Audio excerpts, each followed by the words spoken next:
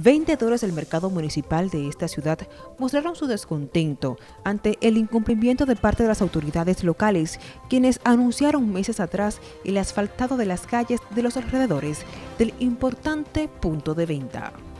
Mi opinión sobre esta calle es que ese hombre, ese hombre quería, vino a sacar a todo el mundo aquí para asfaltar. ¿Y cuánto hace de eso?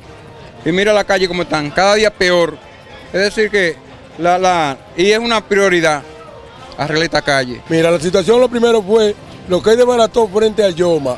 Baratón es una cosa que está hecha, que se podía dejar así y apartar la calle. Y no, no saben. Claro, pues sabes, el polvo daña toda la fruta y se daña de una vez. Claro, papá. Ah, tú mira cómo está la gripe. Aquí el alcalde, el sinvergüenza de alcalde ese, dijo que iba a arreglar esto, todito votamos y cooperamos con él. Le limpiamos la calle y cooperamos, todo bien, y no ha arreglado nada ese rastrero, porque es un mentiroso hablador. Esta calle no sirve para nada, que arreglarla, la vuelta a hoyo. No, la calle está mala, mala, mala. No sirve, pero está viendo cuánto hoyo hay ahí. Y él dice que lo primero que prometió a Ale, que él la iba a arreglar la calle, todavía ni la mano le ha puesto. ¿Cómo que le afecta? Pues por ahí no puede uno ni pasar.